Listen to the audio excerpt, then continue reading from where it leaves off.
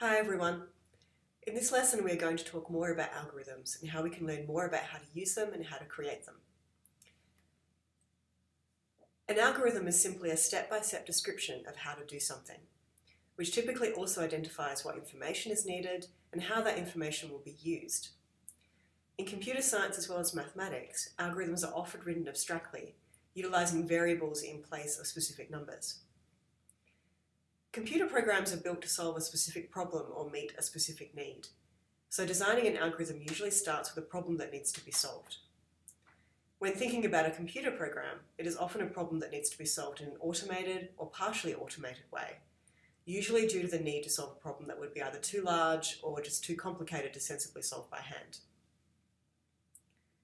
Once you have identified your problem, the process of algorithm design then involves identifying what information is needed to solve the problem and then also filtering out any unnecessary information that might also be present but that is not needed. Then the, the next stage is breaking down the solution or decomposing the solution into smaller, more manageable steps. One of the interesting aspects of a software designer's job is that they want to be able to reuse algorithms that they create. They don't want to have to start each new software design problem from scratch. So algorithm design often involves looking for parts of the solution that can be generalized and then used again in other problems.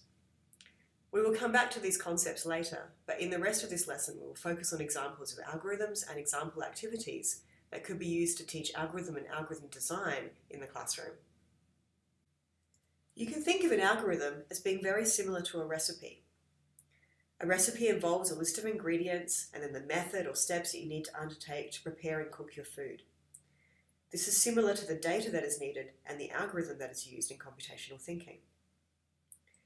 When you decide you want to make a particular recipe for dinner, you first start by looking up in a cookbook or thinking about what ingredients you need, identifying what you already have and what you need to buy, and then working out what shops you need to go to in order to buy those extra ingredients. Once you have all of your ingredients, then you then start your recipe or your algorithm following the steps of the recipe one by one, and using your ingredients as they are needed in order to produce your final food, or the outcome of your algorithm. For younger students, developing the skills for computational thinking and algorithm development requires familiarization with the language and concepts associated with instructions, for example, movement, sequence, place, and spatial awareness. Activities to promote this can be built out of other common activities that they complete in the day in the classroom or in their life outside of their classroom. Initially, in the digital technologies curriculum, our focus is on following, describing, and representing sequences of instructions and decisions needed to solve simple problems. To start exploring instructions, students could be asked to explore games such as Simon Says, or instruction games such as this one where a set of paddle pop sticks are labelled with different kinds of instructions and then kept in a box or a jar.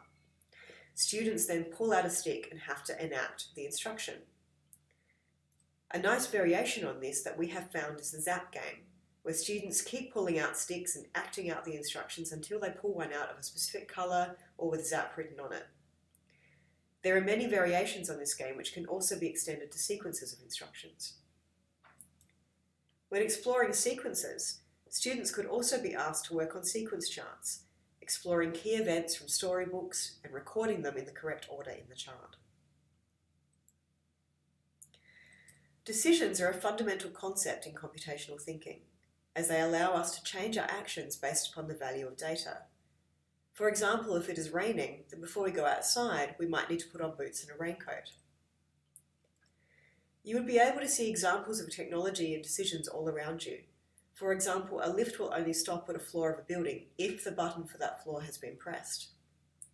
At an ATM, the cash you have requested will only be dispensed if you have enough funds in your account. Decisions can also be explored using play. For example, students could be asked to explore the individual steps in games that they play, such as hopscotch, and asked to create a sequence of instructions that describe the games that they play including those instructions that ask them to make a choice in action. For older students, our learning objectives will move on to the development of their own algorithms for a given problem. For example, students could be asked to construct a maze or an obstacle course and then navigate a blindfolded friend through the maze using only verbal instructions. One interesting aspect of these activities is asking students to think about what kinds of information they needed to give, and what information was provided that was not useful. Did they always have enough information to guide their decisions and their movement? Did they know which direction to turn? Was it confusing at any point? This helps turn the discussion towards data and both what data was needed to solve the problem, i.e. directions to move or directions to turn, and how that data was provided, as well as considering data that was not useful. A similar game for younger children might involve students working in pairs to recreate a design or a pattern. One player can arrange his or her blocks in a specific design or pattern, and then the other player has to form their blocks into the same pattern.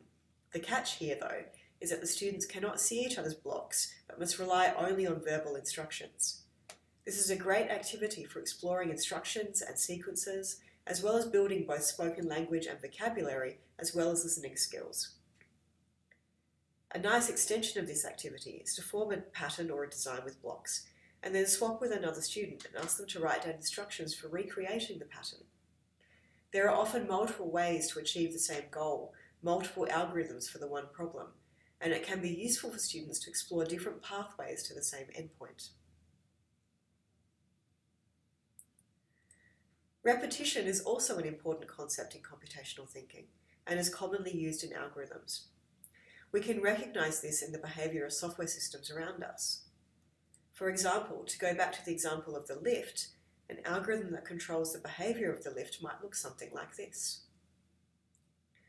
Go to the next floor. If the button for that floor has been pressed, stop and open the doors. Otherwise, continue moving to the next floor. Repeat this until we have reached the top or perhaps the bottom of the building. Repetition allows us to repeat a common task many times, perhaps with slightly different information or context, such as in the example above, where we are considering a different floor at every time. One common aspect of repetition is the inclusion of a condition that tells you or the computer how many times to repeat a sequence of instructions. We will explore this further in our examples. In younger years, repetition can be explored by identifying storybooks or nursery rhymes that involve repetition, and having students sing or create their own simple poems or songs with repetition. Dance and music can also be a useful avenue here, through teaching students simple musical patterns that they can represent by singing, using musical patterns in a musical instrument or dance or movement, which they can then combine through repetition into a single performance. A more advanced setting might involve exploring repetition in the development of a game. For example, students could explore repetition in games with the intention to create one at the end of the unit. The teacher could introduce repetition by having students play a game such as basketball. At the end of the lesson, ask students questions like, how did you know when to start in the centre again? How did you know when to switch from offence to defence? Students could write out these rules as an algorithm and then come up with their own sport games with their own algorithm involving both repetition and decision making. At the more advanced year levels, we will explore problems where students will need to identify how to solve a problem in terms of exploring both the data needed as well as the functional requirements of the solution. An example activity that would help explore this capability would involve building a model of a house. What information is needed? How many windows does the house have? How many doors? How would you build a door into your model? Does it need stairs? We will come back to this objective when we talk more about programming and decomposition. We will end this lesson by exploring some possible activities with strong connections with other knowledge areas. In mathematics, one example could be to explore pathways in simple graphs by working out the shortest way to get from one point to another. This could be done as an activity by constructing a town with roads and then working out how to maneuver their toy cars through the roads from one point to another. Algorithms could be explored here through either the construction of the town, how do you build a road, how, do the roads, how are the roads connected, or in the directions that the car has to take through the town. This could also be extended to include discussions about GPS technology and online maps. In a theme of food or nutrition, students could be asked to explore recipes, perhaps cutting out the individual steps in paper form and then working out the right order. Or considering what would happen if the steps were done in the wrong order. Imagine breaking the egg after you've tried to mix it into the flour. Or to create a new recipe of their own for their favourite food. In science, students could explore a dressing game associated with science by choosing a character's outfit to fit the weather to demonstrate decisions. This could be done in many ways, for example, by dressing up in the right clothes, putting the right clothes on a paper doll, or even through the development of an online game using computer programming. This is one example we will demonstrate further in a worked example when we consider the next unit as we explore visual programming.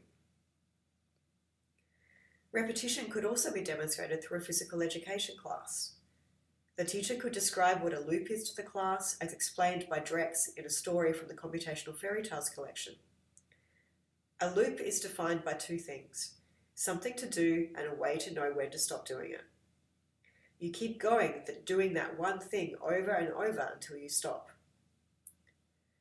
The teacher could have instructions such as keep skipping until the whistle blows, or keep shooting at the hoop until the ball goes in. Or keep passing the ball to your partner until you have passed it 10 times. The students could help the teacher think of sentences that are loops or involve repetition.